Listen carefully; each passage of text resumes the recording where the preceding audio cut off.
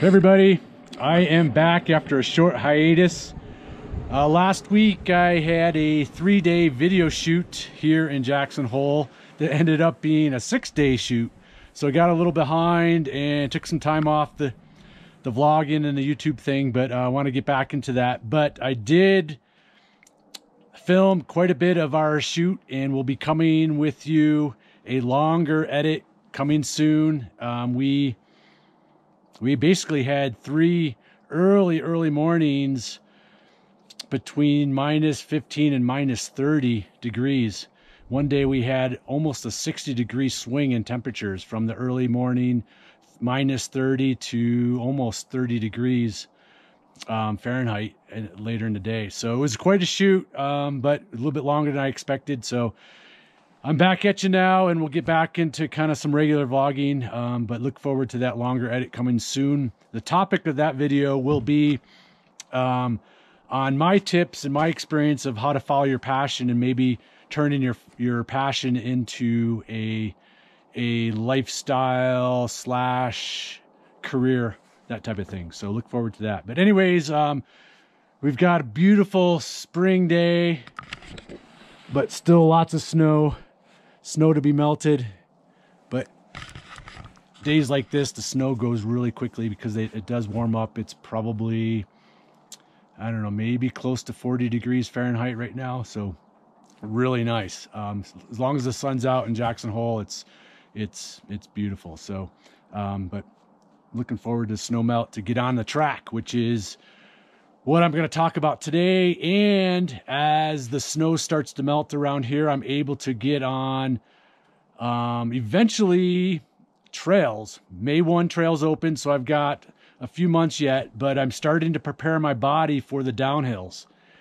And specifically as a preventative measure for my IT bands. Um, I have great IT bands, but notoriously this as spring approaches the opening of trails in Jackson Hole and for my athletes around the world, um, I'm really, really focused on preventing IT band trouble and really strengthening the glutes and doing a lot of eccentric work leading into um, the opening of the trails and more downhill running. Um, so it's it's really really crucial to start focusing on this type of strength, eccentric strength, to prepare your your body for more downhills as you approach summer. Um, so what I did today, and I was gonna I was gonna vlog while I was out there, but it was such a nice day and I was in a good groove with my workout. I just said I'm gonna come back here and sit and talk to you guys and explain what I did today. So I just did a quick warm up around the around the neighborhood and just behind me here, um, part of the bike path, I have a, a short steep hill and on the back side of that is a longer gradual hill. So it's perfect for what I did today. So got my warm up in. Set number one, I did 10 about 40 second uphill steep repeats building to my P105 wattage. Um, that's kind of irrelevant um, if you're not training with wattage, but essentially these are I would say based on the 45 seconds in duration, I would consider these moderately hard. They were challenging, but they were certainly not max effort. And I would consider maybe the last three or four were on the hard side. So in general, these are moderately hard. Um, again, train, don't strain. I was consistent with them, and that's the key. I was consistent with all 10. Okay, so 10 45 second uphill repeats, nice, strong, powerful really working on good form, real good push off, and good power. Of those first five, coming back down the hill, I did eccentric drills, meaning eccentric, I'm working on the landing part and using the downhill as training that eccentric landing. So I basically did a variety of bounding, skipping, hopping downhill. Very easy, but just getting my body used to that down that downhill or that eccentric landing and loading as I'm running downhill. So again, it was not taxing.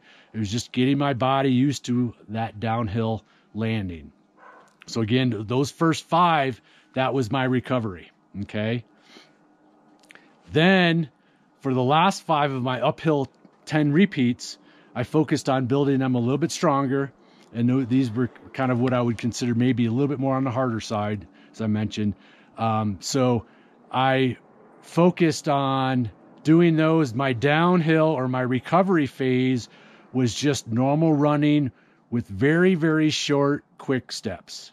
So I got a little bit more recovery than I was during my first five, where I was bounding and jumping and hopping.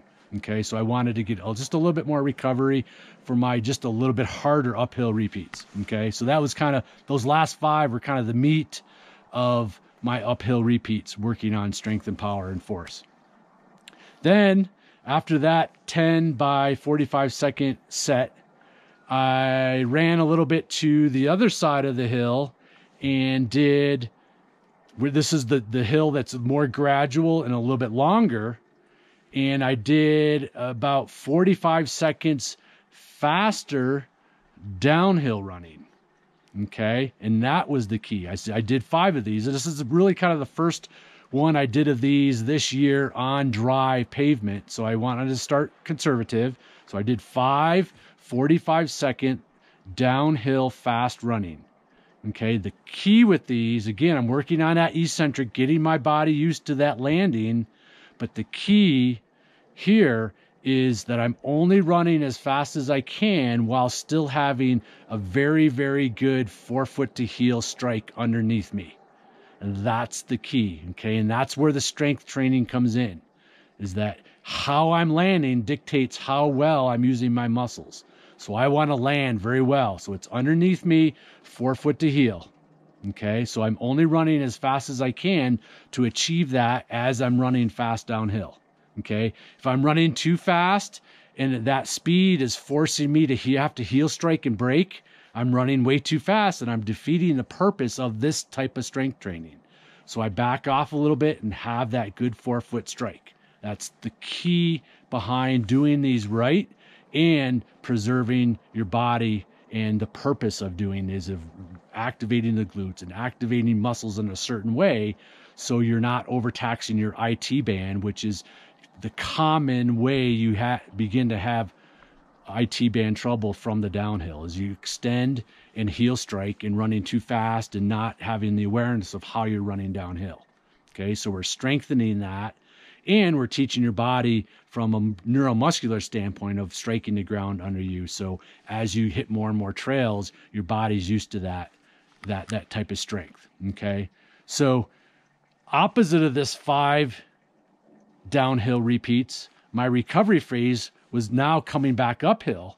So what I did is I jogged very very slowly, but with very very high cadence, very very short steps, almost like unnaturally looking. Okay. And the key here is now still with a good forefoot strike, I'm working on that elastic energy that I talk a lot about in a lot of my videos that's so important. So now I'm a recovery phase. Hey, I'm running fast downhill. I don't need a ton of recovery going back up. So again, what I'm doing is nice, short, easy jogging, but with very, very high cadence back up the hill, working on getting off my foot and creating that elastic energy training that's so so important for for faster speeds, strength training, and for longevity and treating your body well. So um, that was my workout today, and I I finished it with about a five minute, just good strong tempo effort to kind of pull all this all this neuromuscular training that my brain's dealing with and my body's dealing with into nor- kind of normal running. So just on a flat five minute um, course, I just kind of opened it up and did some tempo and just let everything kind of come together and feel that power, feel that strength, all that eccentric work that I worked on, and all the power of the uphills, and just kind of let it feel really good and natural feeling since a lot of what I was doing was more unnatural based on kind of true running. Okay. So, um, it was a great workout. And again, start conservatively, especially if you've been on snow a lot this year, like I have been. Um, especially when you're running downhill, you want to start conservative. You might get sore at first, but start conservative and keep it keep it good form. Okay. All right. I'm gonna catch a little bit of vitamin D here and do some work. And I'll catch you next time. Again, thanks for coming. Thanks for stopping by. Hope this helps and uh, see you next time.